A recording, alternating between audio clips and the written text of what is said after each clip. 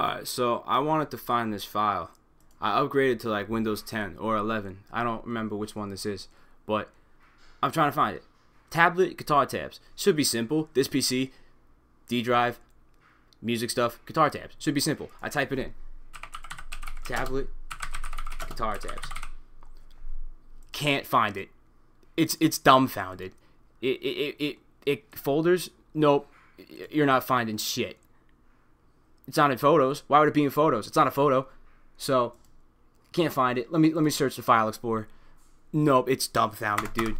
This worked fine on Windows 7. I could type in the file I wanted to find and it would search. It would search my hard drive. It, it would work fine. It would search both drives. It would search the C drive and the D drive. It would work. But I upgrade to Windows 10. It, it's dumbfounded. It's it goes stupid.